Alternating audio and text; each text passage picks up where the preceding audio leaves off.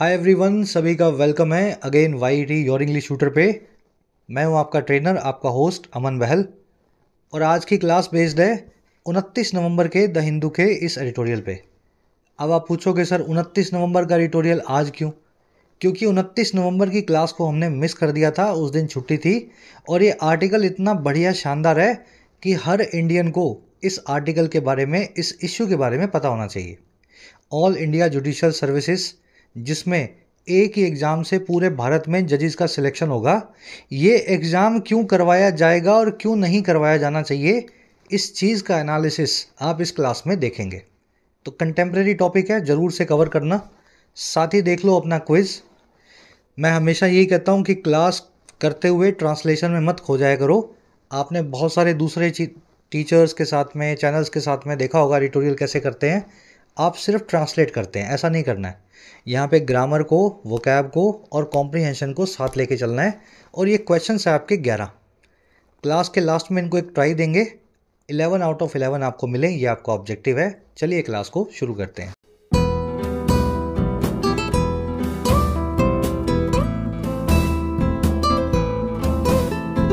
कह रहे जी अ नॉन स्टार्टर क्या होता है भाई नॉन स्टार्टर देखो नॉन स्टार्टर वो वाली गाड़ी है जो स्टार्ट ही नहीं हो रही। कभी कभी होता ना, गाड़ी में पेट्रोल नहीं है, सेल्फ ख़राब हो गया, किक ख़राब हो गई, इग्निशन नहीं हो पा रहा इंजन में, आपकी एक्टिवा बंद हो जाती है। तो वो जो नॉन स्टार्टर वाला काम है ना, ये गाड़ियाँ करती हैं। नॉन स्टार्टर उस घोड़े को भी बोला जाता है, जो रेस में भागता ही नहीं है। कभी कभी घोड़े सब भग लिए रेस में, लेकिन एक घोड़ा खड़ा रह गया तो वो घोड़ा है नॉन स्टार्टर और वैसे ही रियल लाइफ में नॉन स्टार्टर वो चीज़ है, जो एक कंसिस्टेंट फेलियर आपके लिए लेकर के आती है। समझ आए? मेरी बात को समझ पाए? एक एग्ज़ाम है जिसको आप बार बार अटैम्प्ट किए जा रहे हो यूपीएससी बाईस साल की उम्र से चालीस साल की उम्र तक दे रहे हैं। लोग पाषाण काल से तैयारी कर रहे हैं यूपीएससी की। तो आपके लिए नॉन स्टार्टर एग्ज़ाम है क्योंकि आप उसमें सफलता नहीं ले पा रहे हो। तो कह रहे जी, ऐसे ही एक चीज़ हमें मिली है अ नॉन स्टार्टर जिस पे हमें फेलियर ही मिला। है ऐसा इश्यू जिसमें हमेशा आगे बढ़ते ही हमें पीछे आना पड़ता है। अब वो इश्यू कौन सा है जी? On the suggestion for an all India judicial services उस सजेशन की बात हो रही है जो है ऑल इंडिया जुडिशल सर्विस के एग्ज़ाम का पूरे भारत में एक एग्ज़ाम कंडक्ट करवाया जाए, जिसमें सारे भारत के हर कोर्ट के जजेस की सिलेक्शन हो। तो ये बात तो बहुत बार होती है, लेकिन इस पर मतलब कुछ कंक्लूजन नहीं निकलता। चलिए टाइटल पैराग्राफ देखेंगे, क्या कहना चाह रहा है। नॉन स्टार्टर मैंने आपको बता दिया। कंप्लीट इनफेक्टिव कंप्लीटली इनफेक्टिव और अनसक्सेसफुल इशू है ना? अ कंप्लीट फेलियर आप इसको बोल सकते हैं। अब देखो फेलियर की बात हो तो a huge failure a huge failure इसके लिए हमारे पास दो तीन वर्ड्स हैं। ह्यूज फेलियर समझते हो ना? बड़ी नाकामयाबी। तीनों वन वर्ड्स आने चाहिए। ह्यूज फेलियर के लिए तीन वन वर्ड्स हैं। मैं लिख रहा हूँ यहाँ पे। जिन बच्चों को आता है कमेंट्स में डालो। लिखने से चीज़ें दिमाग में बैठती हैं। पहला वन वर्ड है इसके लिए सेट बैक याद रहेगा? सेट सेट बैक दूसरा है जी डिबैकल ये अच्छे लेवल का है। और तीसरा तो इससे भी अच्छे लेवल का है। लिख देता हूँ मैं। फियास्को ठीक है? बड़ी नाकामयाबी के लिए ये तीन वन वर्ड्स होते हैं। याद कैसे रहेंगे? क्लास कर लो रोज़। महीने में कम से कम चार बार ये एक हर एक वर्ड जो है चार चार बार रिपीट हो जाता है आपकी क्लास के दौरान। समझ गए? चलो। अब ह्यूज सक्सेस के लिए कौन सा वर्ड है? बड़ी कामयाबी के लिए। बड़ी कामयाबी के लिए एक अच्छा वन वर्ड है अपने पास।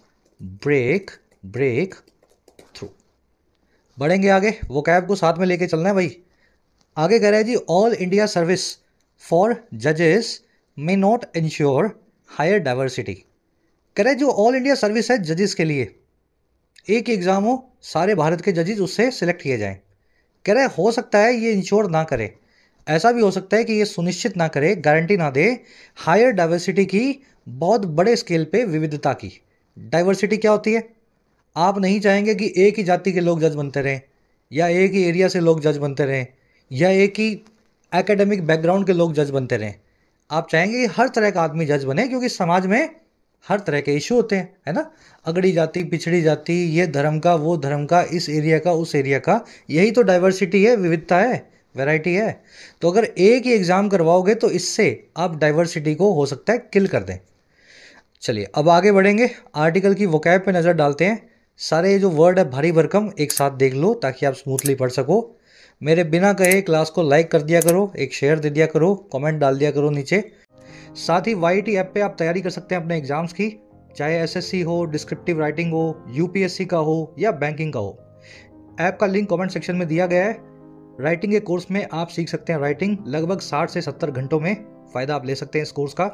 यूपीएससी के कोर्स में आप अपना मीडियम चेंज कर सकते हैं, किसी और लैंग्वेज से इंग्लिश में माइग्रेट कर सकते हैं। यूपीएससी के सभी एस्पेक्ट्स कवर्ड हैं answer writing essay writing descriptive writing CSAT S और बैंकिंग के कोर्स में आपको सारे वैरायटी के क्वेश्चन सोल्व करना सिखाया जाता है। सौ से सवा घंटों के कोर्सेज हैं, आप भरपूर अपनी प्रैक्टिस कर सकते हैं। कोई क्वेश्चन हो क्वेरी हो टीम का नंबर है व्हाट्सअप आप इस नंबर पे टीम से जुड़ सकते हैं वाया व्हाट्सअप चलिए अपनी वोकैब शीट है।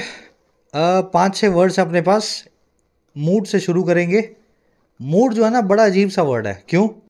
इसकी दो फॉर्म्स हैं।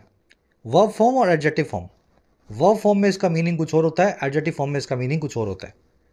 वर्ब फॉर्म में इसका मीनिंग होता है किसी चीज़ पे गहरे गहरे से विचार करना, सोचना डिस्कस करना थिंक करना। The UPA government mooted the idea of a GST system and the NDA government implemented it UPA की सरकार ने मूट किया केयरफुली थॉट किया, सोचा किसको? जीएसटी के आइडिया को। और एनडीए की सरकार ने इसको इम्प्लीमेंट किया, इस आइडिया को आगे बढ़ाया। ठीक है तो 2004 में जो मनमोहन सिंह की सरकार बनी थी, वहाँ से जीएसटी के बारे में इन्होंने दूसरी कंट्रीज़ को देख करके कॉपी किया कि हम भी जीएसटी लाते हैं। और एनडीए की सरकार 2014 में जैसे आई बीजेपी की सरकार इन्होंने 16-17 में जीएसटी को लगा दिया। ठीक है डेलिब्रेट करना वे करना कंसीडर करना मूड के सिनोनिम्स हैं। अब देखो, यही मूड वर्ड कभी कभी एडजेटिव बन के आता है नाउन से पहले, और इसका मतलब होता है डिबेटेबल ऐसी चीज़ जिस पे बहस हो। It's a moot question it's a moot question when will the pandemic be over ये एक आर्ग्यूबल या डिबेटेबल क्वेश्चन है कि ये महामारी कब खत्म होगी। ऑफ़ कोर्स अब महामारी खत्म हो चुकी है। ये सेंटेंस तब बनाया था हमने जब कोविड चल रहा था, ठीक है? तो ये डिबेटेबल है मूट है आर्ग्यूबल है अनसेटल्ड है या अनरिजॉल्व है। तो ये वर्ड जो है ना मूट आप इन दोनों में से एक फॉर्म में आर्टिकल में देखेंगे। चलो, अगला वर्ड है इंस्ट्रूमेंटल क्या होता है इंस्ट्रूमेंट देखो इंस्ट्रूमेंट का मतलब होता है उपकरण। थर्मामीटर एक इंस्ट्रूमेंट है टेम्परेचर को नापने के लिए। अच्छा वेइंग मशीन क्या है? एक इंस्ट्रूमेंट है आपका वज़न करने के लिए। इंची टेप क्या है? एक इंस्ट्रूमेंट है आपकी लेंथ को मेजर करने के लिए। तो इंस्ट्रूमेंटल हर वो चीज़ है जो एक उपकरण की तरह, एक इंस्ट्रूमेंट की तरह किसी काम में हाथ बटाए। है ना, किसी चीज़ में हेल्पफुल हो। किताबें इंस्ट्रूमेंट होती हैं पढ़ाई के लिए। नौकरी इंस्ट्रूमेंटल होती है जॉब जो है करियर के लिए। है ना, ऐसे इसको थोड़ा सा कनेक्ट करके रखना। Bhagat Singh had an instrumental role in India's freedom struggle Bhagat Singh का एक बहुत ही महत्वपूर्ण या हेल्पफुल रोल था भारत की आज़ादी के जो है संघर्ष में, है ना स्ट्रगल में। इंस्ट्रूमेंटल को कंड्यूसिव भी बोलते हैं असिस्टिंग भी बोलते हैं पिविटल भी बोलते हैं। आप इस वर्ड को कंड्यूसिव को आर्टिकल में देखेंगे। चलिए, अगला वर्ड है वेल वर्स्ट। देखिए, वेल वर्स्ट वो आदमी है जिसको किसी चीज़ के बारे में अच्छे से पता है, अच्छे से वो इन्फॉर्म्ड है, अच्छे से उस बारे में पढ़ा हुआ है। जैसे इकोनमिस्ट होंगे ना, वो वेल वर्स्ड होंगे इकोनॉमिक टर्म से।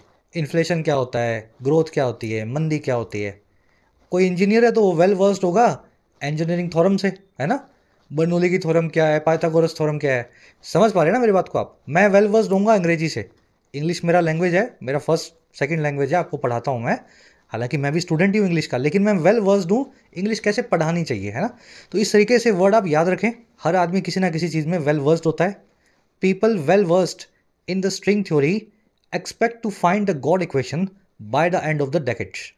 वो लोग जो अच्छे से स्ट्रिंग थ्योरी से वेल वर्स्ड हैं स्ट्रिंग थ्योरी नाम की थ्योरी को अच्छे से जानते हैं, वो एक्सपेक्ट कर रहे हैं कि गॉड इक्वेशन को फाइंड कर लेंगे इस दशक के अंत में, अगले दस सालों में। गॉड इक्वेशन वो इक्वेशन है जो सिंगल इक्वेशन पूरे यूनिवर्स को एक्सप्लेन करती है।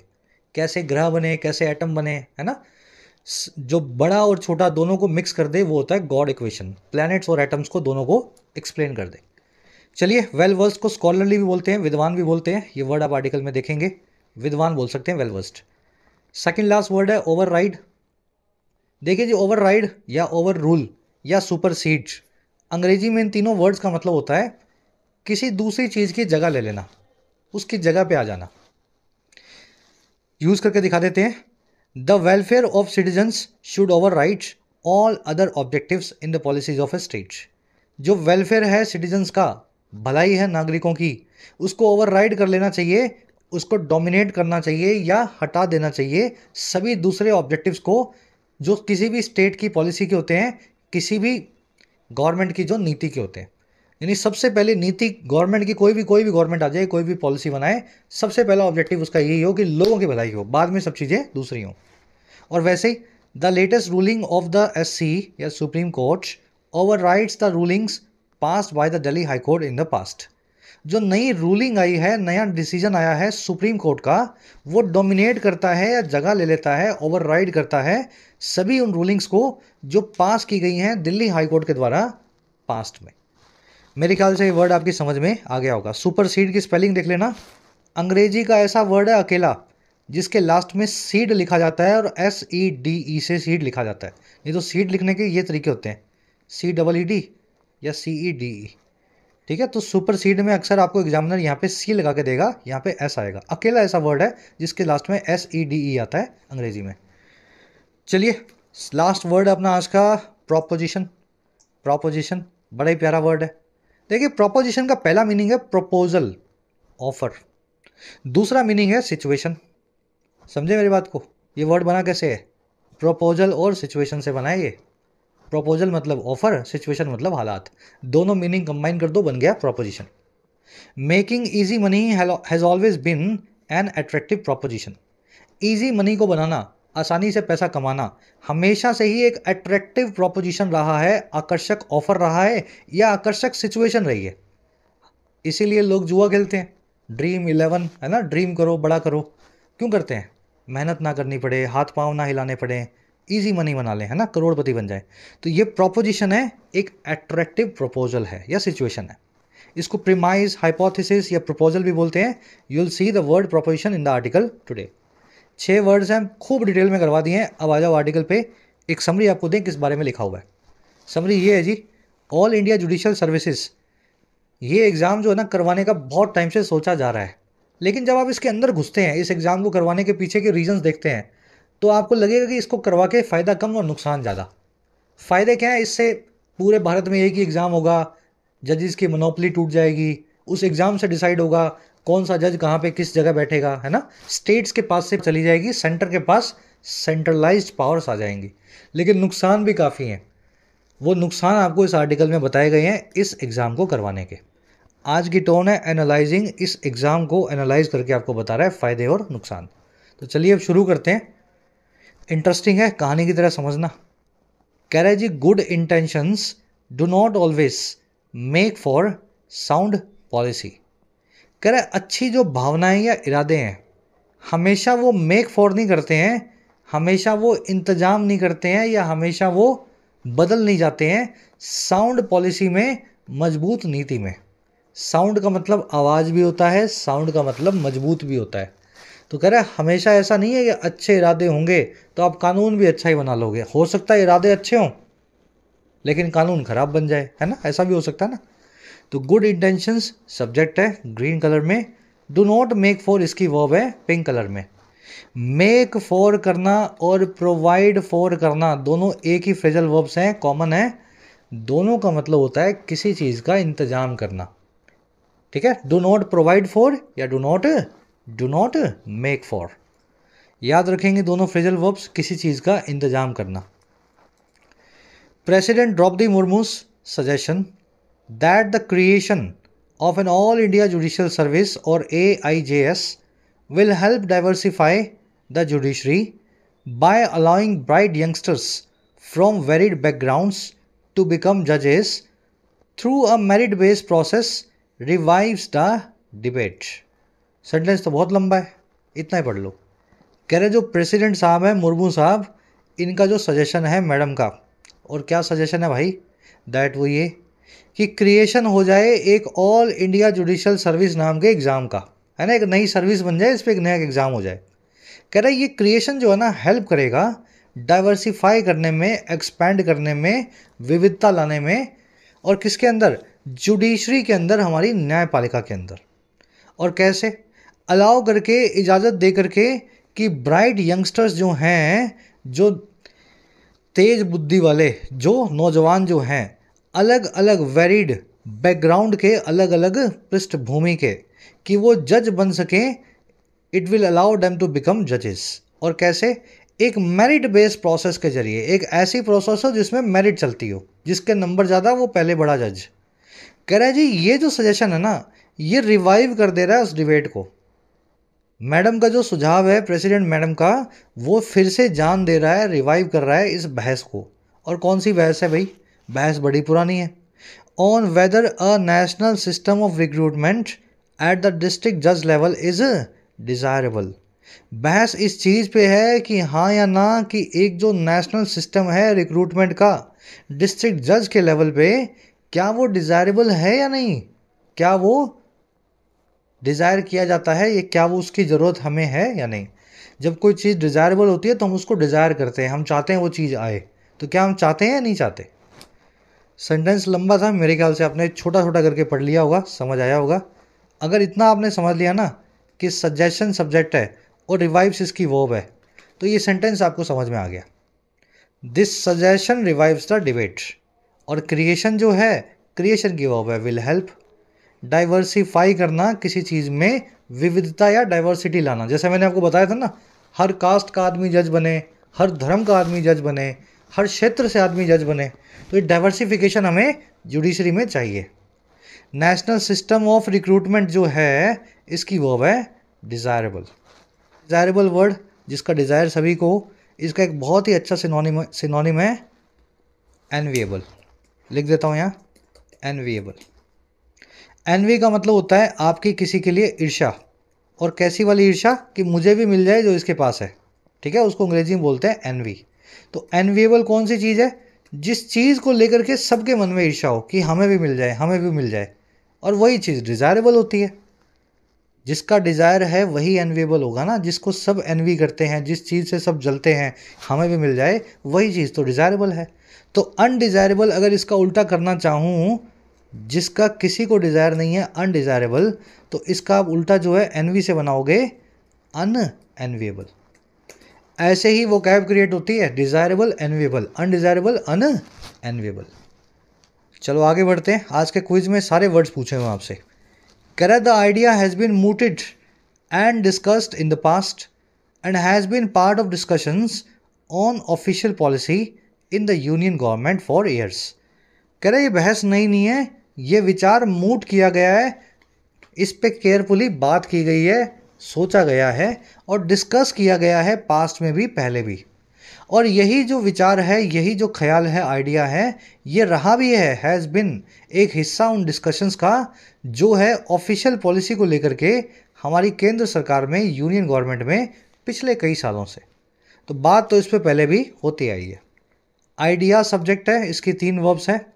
पहली वर्ब है हैज़ बिन मोटेड दूसरी वर्ब है हैज़ बिन डिस्कस्ड और तीसरी वर्ब है हैज़ बिन यहाँ पे has been mooted has been discussed passive voice में हैज़ बिन प्लस में वी थ्री ठीक है? हैज़ बिन यहाँ भी लगा हुआ है। और यहाँ पे हैज़ बिन एक्टिव वॉइस में परफेक्ट टेंस में हैज़ प्लस में वी थ्री समझ गए ना? बी प्लस में वी थ्री नहीं आ रहा। आइडिया विचार रहा है।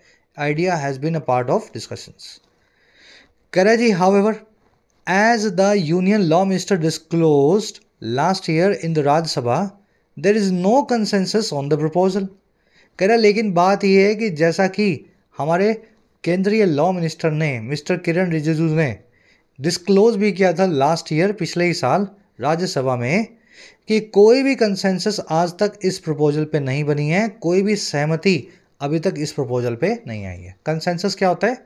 सभी की सहमति यूनानिमिटी या अग्रीमेंट यूनियन मिनिस्टर की वर्ब है डिस्क्लोज कंसेंसस की वर्ब है कंसेंसस की वर्ब है इज़ कह रहे जी only two high courts agree to the idea while thirteen were against it महज तीन ही हाई दो ही हाई कोर्ट जो हैं, इस आइडिया के लिए अग्री हुई हैं, और तेरह हाई कोर्ट्स इसके अगेंस्ट थी, इसके खिलाफ थी, इस प्रपोजल के अगेंस्ट थी.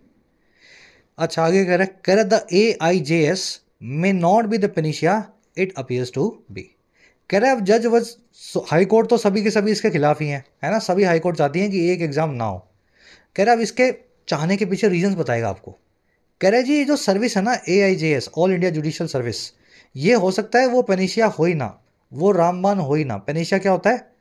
एक रामबान दवाई जिसमें सभी जो है ना सभी बीमारियों का इलाज हो जाता है। जैसे वो लक्ष्मण जी के, के लिए हनुमान जी लेके आए थे ना वो बूटी क्या नाम था उसका संजीवनी उसको बोलते हैं पेनिशिया कह रहे जी, हमारे हिसाब से भी ये एग्ज़ाम जो है, एक पेनिशिया नहीं है। जैसा कि ये दिखाई देता है, देखने में लगता है इट अपीयर्स टू बी अच्छा क्यों नहीं है? ये आगे देखते हैं। ए आई जी एस जो एग्ज़ाम है, इसकी वर्ब है मे नॉट बी इट की वर्ब है अपीयर्स इट आया है A I ji S exam के लिए। पेनेशिया का मतलब होता है, जैसा मैंने आपको बताया रामबान औषधि। इसको आप रेमेडी या क्योरॉल या एलेक्सिर से भी बताते हैं। एलेक्सिर जो है पेनेशिया का एक एडवांस एनोनिम है। कोशिश करना इस वन वर्ड को, है ना, याद रखने की। एलेक्सिर एलेक्सिर ठीक है? कह रहा वो इसलिए the current system of recruitment of district जजेस through the respective high courts and other subordinated judicial officers through public service commissions is more conducive more conducive to ensuring diversity कह रहे जो हाल में सिस्टम है, जिसको सरकार बदलना चाहती है, जो है रिक्रूटमेंट का डिस्ट्रिक्ट जजेस की और किसके ज़रिए? रिस्पेक्टिव हाई कोर्ट्स के ज़रिए। तो अगर बाड़मेर, बीकानेर में जज को चूज़ करना है किसी डिस्ट्रिक्ट जज के लिए डिस्ट्रिक्ट जो है कोर्ट के लिए तो जोधपुर हाई कोर्ट में जो जज बैठे हैं, वही डिसाइड करेंगे किस जज को चूज़ करना है।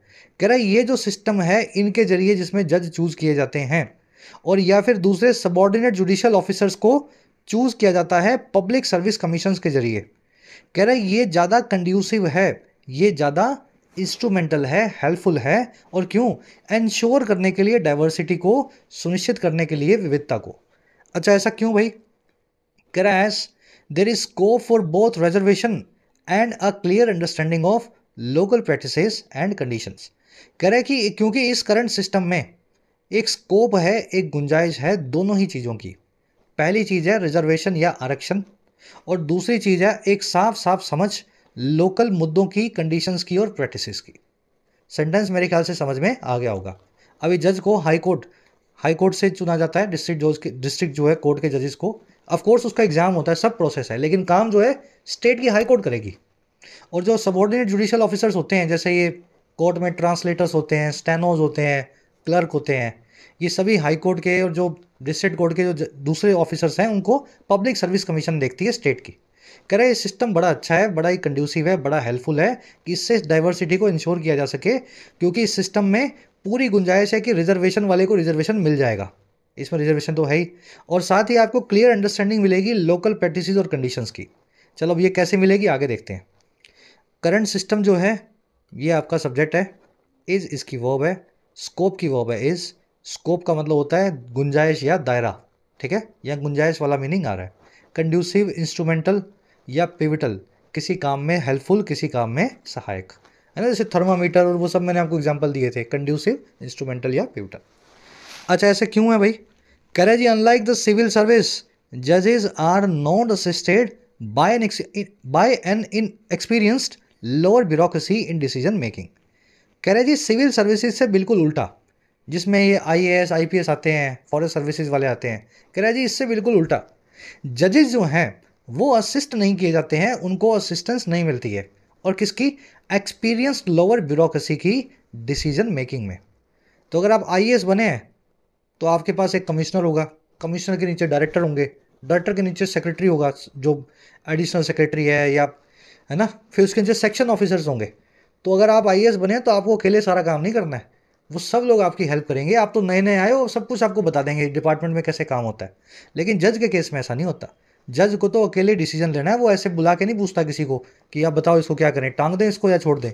तो जजेज are not assisted by lower bureaucracy and they required to be well versed और वो रिक्वायर्ड होते हैं, उनको ऐसी रिक्वायरमेंट होती है कि वो वेल वर्स्ड हो, विद्वान हो, in issues involve for judicial functioning उन सभी इश्यूज़ में जो जुडिशियल फंक्शनिंग में इन्वॉल्व हैं, जिनका कानून की प्रक्रिया से संबंध है। समझ गए? जजेस की वर्ब है आर असिस्टेड या are not assisted rather they की ओवर रिक्वायर वेल वर्स्ड होना स्कॉलरली होना विद्वान होना वेल रेड होना वेल अंडरस्टूड होना किसी चीज़ में आपका अच्छे से ज्ञान होता वेल वर्स्ड होते।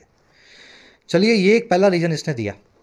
चलिए अब आगे बढ़ते हैं नेक्स्ट पैराग्राफ पे आते हैं, इसी को और बिल्ड करेगा। कह रहा जी article 312 of the constitution as amended by the forty second amendment provides for the creation of an AIJS and requires a resolution adopted by the Council of States with two thirds majority and a parliamentary law कह रहा दूसरी problem यह है कि article 312 जो है हमारे संविधान का, जिसको अमेंड भी किया गया था बयालीसवें संविधान संशोधन से कॉन्स्टिट्यूशनल अमेंडमेंट से। कह रहा है, ये आर्टिकल 312 प्रोवाइड फॉर करता है। ऊपर आया था मेक फॉर यहाँ आ गया प्रोवाइड फॉर किसी चीज़ का इंतज़ाम करना। तो ये आर्टिकल बड़े अच्छे से इंतज़ाम करता है इस ए आई जे एस नाम की सर्विस के क्रिएशन का। और ये रिक्वायर करता है, इस चीज़ को ज़रूरी बनाता है किस चीज़ को भाई, चीज़ ये है कि एक रिजोल्यूशन हो, एक पूरा, देखो रिजोल्यूशन क्या होता है जी, एक कानून का एक प्रपोजल होता है, जिस पे सब साइन कर देते हैं तो वो रेजोल्यूशन पास हो जाता है है ना? अपनी पार्लियामेंट में, राज्यसभा, लोकसभा में भी रेजोल्यूशन जाते हैं। तो कह रहे जी, एक इसी तरीके का एक प्रपोजल हो रेजोल्यूशन हो, कानून का प्रपोजल हो, जो अडॉप्ट किया जाए काउंसिल ऑफ़ स्टेट्स के द्वारा। काउंसिल ऑफ़ स्टेट्स क्या है? भारत के जो राज्य हैं, उनकी काउंसिल को, उनकी सभा को ही काउंसिल ऑफ़ स्टेट्स बोलते हैं। तो ये रेजोल्यूशन हर राज्य के द्वारा अपनाया जाए। और कैसे? दो तिहाई मेजोरिटी के साथ लगभग छियासठ परसेंट राज्य इसको मान लें। और एक पार्लियामेंट्री लॉ बने, इसके लिए एक पार्लियामेंट की तरफ़ से कानून भी बने। तो ऐसे ही ए नहीं हो सकता। भारत के जितने भी राज्य हैं और केंद्र शासित प्रदेश हैं, जिनकी खुद की असेंबली है इन सभी को मिलकर के दो तिहाई बहुमत से इस ए के रेजोल्यूशन को पास करना होगा और फिर एक पार्लियामेंट में कानून बनेगा, उसके बाद ही एग्ज़ाम हो सकता है। तो सबसे बड़ी, एक बड़ी रुकावट ये भी है। आर्टिकल 312 की वर्ब है प्रोवाइड्स फॉर ठीक है? और दूसरी वर्ब है रिक्वायर्स कॉन्स्टिट्यूशन का सी बड़ा है क्योंकि ये प्रॉपर नाउन बनाया गया है। यहाँ सी बड़ा लिख करके हम ये बता रहे हैं कॉन्स्टिट्यूशन ऑफ़ इंडिया ठीक है? द लगाया जाता है कॉन्स्टिट्यूशन से पहले, हमेशा। कह रहे जी this constitutional recognises that rules governing the subordinate judiciary in the states will have to be superseded by a central law कह रहे जी कॉन्स्टिट्यूशन ये रिकॉग्नाइज करता है। ये जो आर्टिकल है, संविधान का, ये रिकॉग्नाइज करता है कि जो रूल्स हैं, जो कानून हैं, जो गवर्न करते हैं सबॉर्डिनेट जुडिशरी को सब ऑर्डिनेट मतलब जो जूनियर है जुडिशरी मतलब न्यायपालिका। सबॉर्डिनेट जुडिशरी क्या होती है? सेशंस कोर्ट और डिस्ट्रिक्ट कोर्ट तो जो भी रूल्स बने हुए हैं डिस्ट्रिक्ट और सेशन कोर्ट्स के जजेस को चलाने के लिए, उनको गवर्न करने के लिए, हर राज्य में अलग अलग बने हुए हैं। कह रहे कि उन सभी रूल्स को सुपरसीड किया जाएगा ओवर रूल किया जाएगा, उनको हटाया जाएगा, उनकी जगह ली जाएगी एक सेंट्रल लॉ के द्वारा। और किस लिए? For this proposal to achieve fruition इस प्रपोजल को फ्रूएशन अचीव करने के लिए इस प्रपोजल का इफ़ेक्टिव बनने के लिए। व्हेन यू अचीव फ्रूएशन आपको फल मिल जाता है।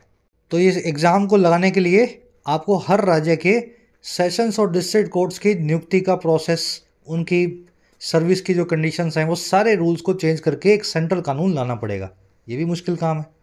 कॉन्स्टिट्यूशन की वर्ब है रिकोगनाइजेस ठीक है? रूल्स की वर्ब है विल हैव सुपरसीड करना ओवर रूल करना, किसी चीज़ की जगह ले लेना, उसको हटा करके। कह रहा it is unlikely that all states will agree to one more subject from their domain being consumed by centralisation ये भी बड़ा अनलाइकली है कि जो सभी स्टेट्स हैं, हमारी राज्य है, वो अग्री हो जाएँगे इस चीज़ को लेकर के कि एक और सब्जेक्ट जो है, उनके डोमेन से, उनके दायरे से कंज्यूम होता हुआ या खाया जाता हुआ सेंट्रलाइजेशन के द्वारा। तो स्टेट लिस्ट है यूनियन लिस्ट है कंकरेंट लिस्ट है अलग अलग सब्जेक्ट दिए गए हैं। हेल्थ पे स्टेट कानून बनाएगी पुलिस पे स्टेट कानून बनाएगी, है ना? किसी और चीज़ पे सेंटर कानून बनाएगा।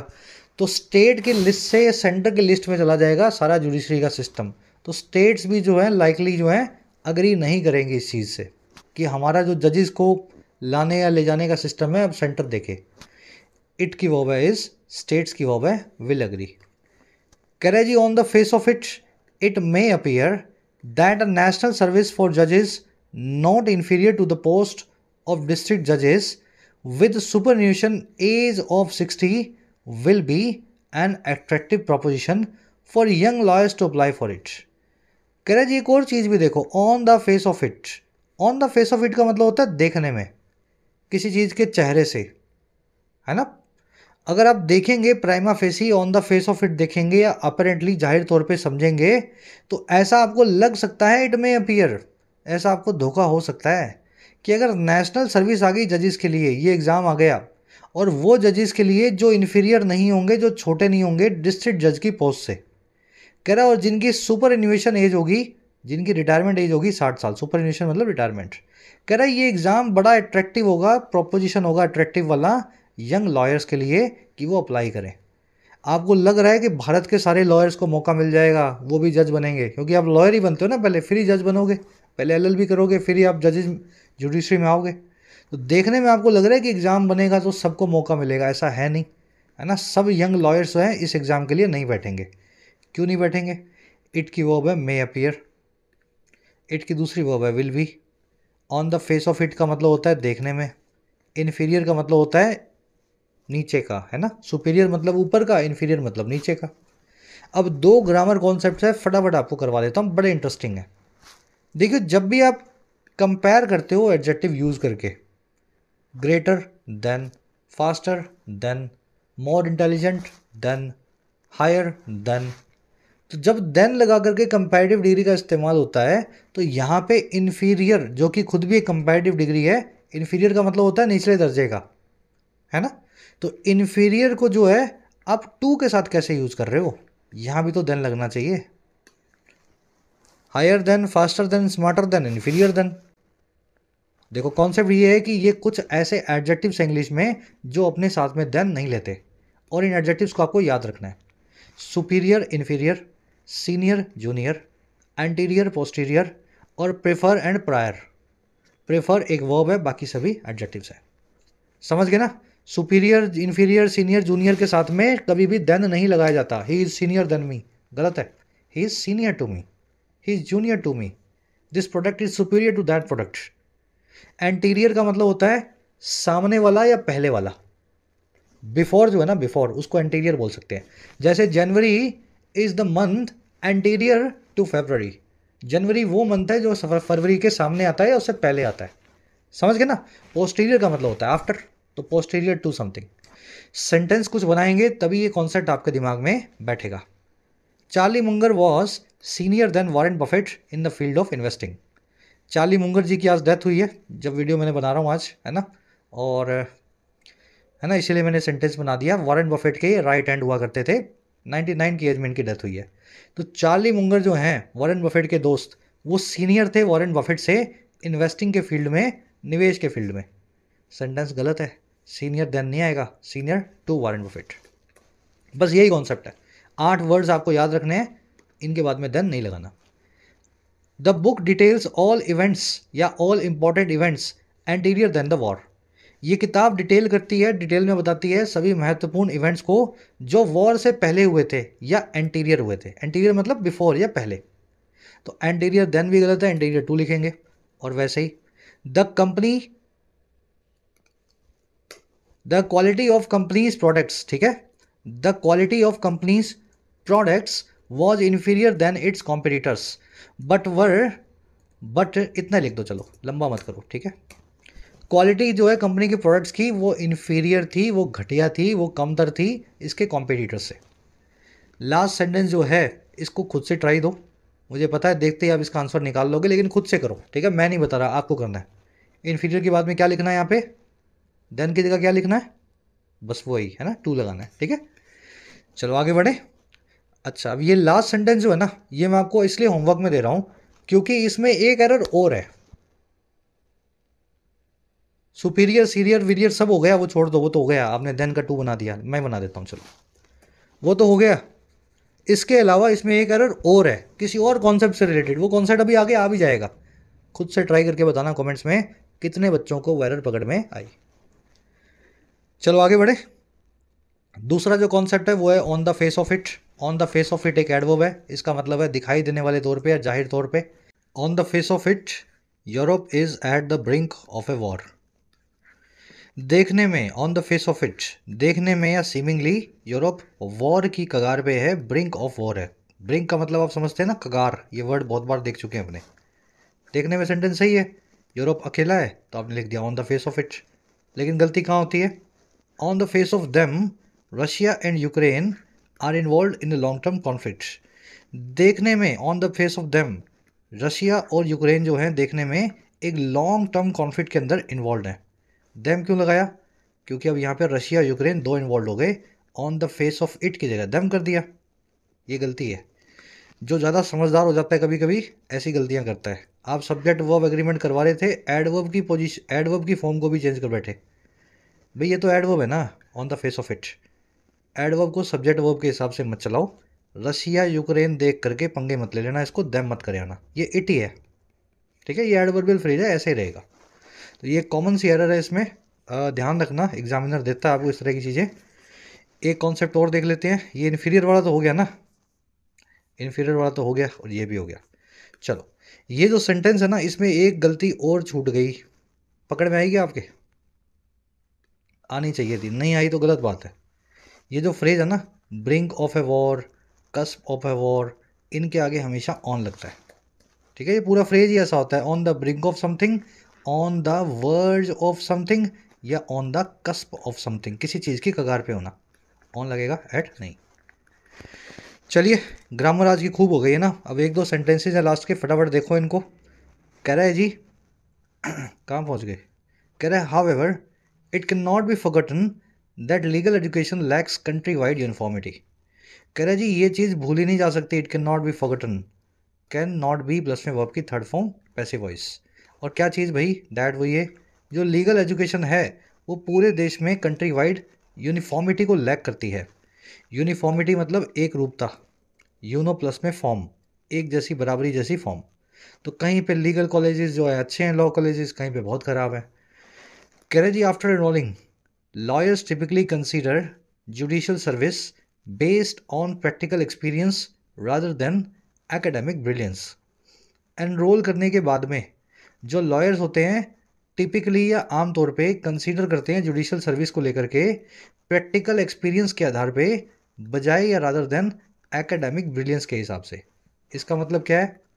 अगर आप एक बहुत अच्छे लॉयर हैं एकेडमिकली आपने बहुत अच्छे मार्क्स लिए हैं समझ भी बहुत अच्छी है कानून की। तो आप ज़रूरी नहीं है जज ही बने। लॉयर बन करके भी अपनी एकेडमिक ब्रिलियंस को आप बना करके रख सकते हैं। राम जेठ जेठमलानी बन गए। समझ पा रहे हो मेरी बात को? एक बड़ा लॉयर भी हो सकता है जिसको उतनी ही एकेडमिक नॉलेज हो, ज़रूरी नहीं है उसको जज बनना ही पड़े। वो जज इसलिए बनते हैं क्योंकि उनको प्रैक्टिकल एक्सपीरियंस चाहिए होता है। है ना? जज की कुर्सी पे बैठने का, वहाँ बैठ करके फैसले करने का, इसलिए वो बनते हैं। लॉयर्स की वॉब है कंसीडर अच्छा और क्या करते हैं वो भाई? जी toppers specially from the few elite law schools are unlikely to sit for a national judicial service recruitment examination कह रहे इनमें भी जो टॉपर्स हैं, खास करके जो थोड़े बहुत जो है एलिट यानी हाई जो है लेवल के लॉ स्कूल्स हैं। द फ्यू मतलब जो भी थोड़े बहुत। अब ये लॉ स्कूल्स हाई लेवल के कौन से हैं? नेशनल लॉ यूनिवर्सिटीज़ एन बोलते हैं इनको, जैसे अपने जोधपुर में है, राजस्थान में बेंगलोर में है चार पाँच दस बीस जो भी हैं, बड़े स्कूल्स हैं ये। कह रहे इनके भी जो टॉपर्स हैं बड़ी बड़ी यूनिवर्सिटीज़ के, ये भी अनलाइकली हैं, ये भी असंभावित हैं कि ये सिट करेंगे या बैठेंगे इस टेस्ट के अंदर जुडिशियल सर्विस रिक्रूटमेंट एग्ज़ाम के अंदर। क्यों नहीं बैठेंगे भाई? टॉपर्स की वो है आर अनलाइकली का होना यानी किसी चीज़ का लाइकली ना होना, संभावित ना होना। कह रहे वो इसलिए नहीं बैठेंगे in comparison options such as litigations joining law firms and going into the corporate sector will appear more beneficial कह रहे क्योंकि कंपैरिजन में ये सारे जो ऑप्शन है, जैसे पहला केस है, पहला ऑप्शन है लिटिगेशन लिटिगेशन क्या होता है? कोर्ट केस में भाग लेना.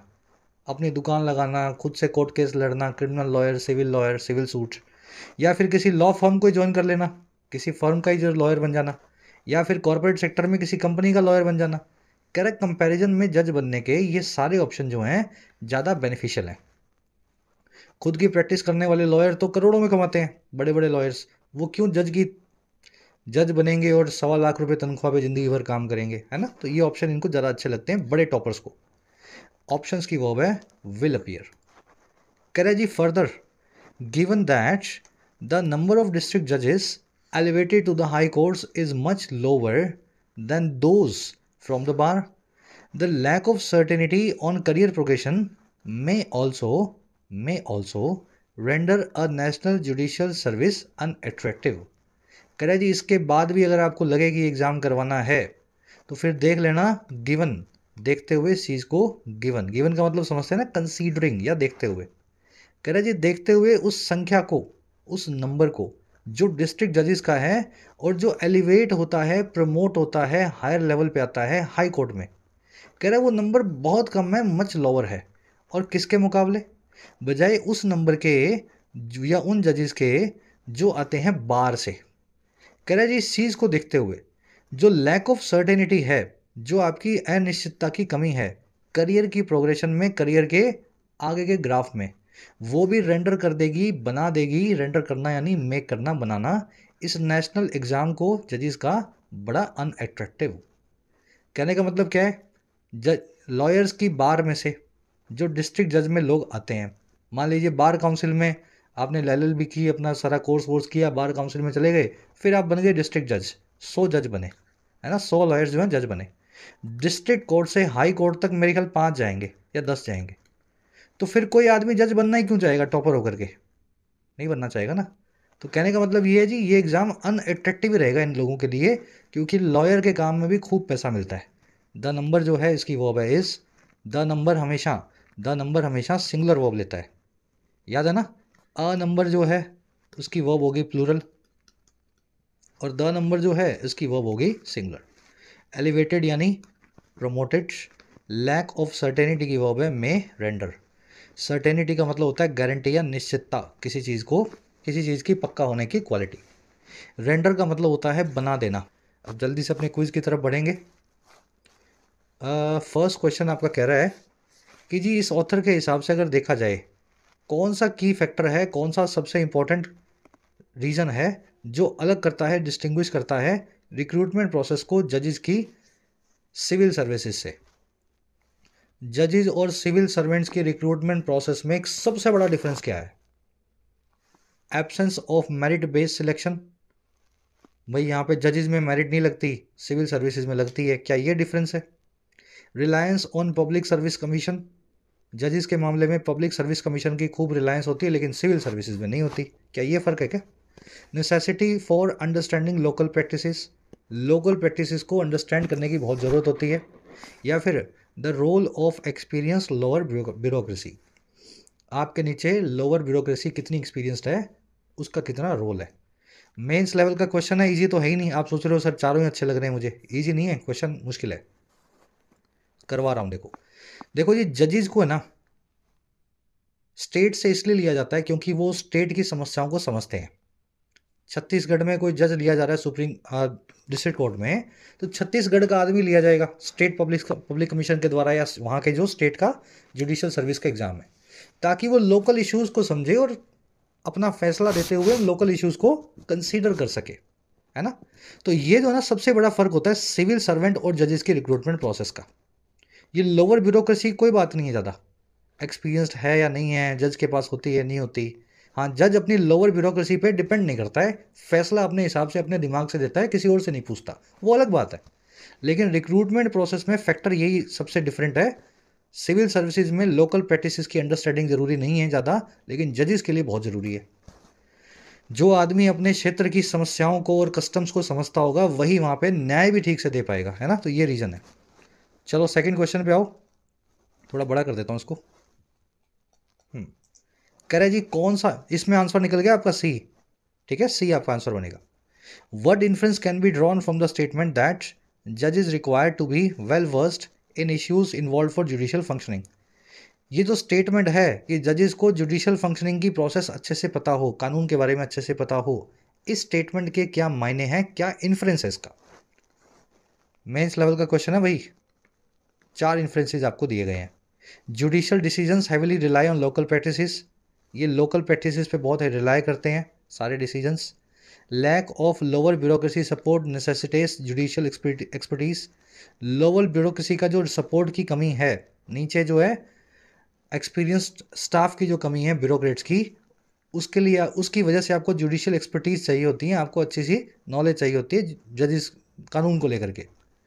Judicial decisions demand a deeper understanding of legal issues judicial decisions के लिए आपको लीगल इश्यूज़ की डीपर अंडरस्टैंडिंग होनी चाहिए, या फिर जजेस primarily rely on academic brilliance for decision making meaning नहीं निकाल रहा हूँ, मैं चारों का आपको आइडिया दे रहा हूँ। आंसर देखो, इसका बनेगा। आंसर बनेगा सी अगर जुडिशियल डिसीज़न देना है तो लीगल इश्यूज़ पता होंगे, तभी दे पाओगे। पूरी हिस्ट्री पता होगी किसी इश्यू की। कभी इस पर पहली बार बहस हुई थी? पुरानी अदालतों का क्या कहना है? कानून की किताब में क्या लिखा है? इसलिए जजेस को वेल वर्स्ड होना पड़ता है जुडिशियल फंक्शनिंग के साथ में। समझ गए ना मेरी बात को? Deeper understanding of legal issues is demanded when making a judicial decision बाकी सब तो मैंने रूँगा जूँगा डाल दिया। कोई इसका मीनिंग नहीं है ज़्यादा। ऐसे लिखने को लिख दिया मतलब कोई रेलेवेंस नहीं है इनकी, इस क्वेश्चन के साथ में। तो बाकी तीन तो आप पढ़ोगे तो मीनिंग निकल नहीं रहा उनका कुछ। सी आंसर बनेगा। थर्ड वाला थोड़ा सा ईजी है। इस पैसेज के कॉन्टेक्स्ट में ये बताओ कि कौन सा रोल जो है ऑपोजिशन का या फिर कौन सा रोल जो है हाई कोर्ट की और स्टेट की जो ऑपोजिशन का होगा, वो प्ले करेगा इस ऑल इंडिया जुडिशल सर्विसेज़ को लाने में, इसकी फिजिबिलिटी में। भाई हाई कोर्ट्स और कई स्टेट जो हैं इसके खिलाफ हैं तो उनके खिलाफ होने से ए आई जी एस पे क्या फ़र्क पड़ेगा? चार ऑप्शन आपके पास है और बहुत ईजी इसका आंसर है। आंसर निकालो, चारों को हिंदी में ट्रांसलेट करो, आंसर निकल आएगा। सही ट्रांसलेशन करने पे। फ़र्स्ट कमेंट में आंसर मैंने डाल दिया, वहाँ से मैच कर लेना। चलो, ये क्वेश्चन तो खुद से कर ही लोगे। मीनिंग ही तो निकालने प्रोपोजिशन प्रोपोजिशन क्या होता है? प्रपोजल और सिचुएशन इज़ प्रोपोजिशन है ना? Undesirable pivotal supersede breakthrough match कर दो इनको कॉलम्स को। इसमें मिलेंगी तीन एरर्स और जिस पोर्शन में एरर्स मिलेगी, उनको मैंने कर दिया है थोड़ा सा डार्क ब्लैक है ना? जिसके आसपास एरर्स मिलेंगी। ढूंढो। आंसर रखें फ़र्स्ट कमेंट में मैच करके बताओ आउट ऑफ़ इलेवन आपको कितने मार्क्स मिले। ठीक है कमेंट्स में डालना। नेक्स्ट क्लास में आपसे लेंगे मुलाकात। आंसर डाल दिया मैंने फ़र्स्ट कमेंट में, नीचे जाके चेक कर लो। Until then signing out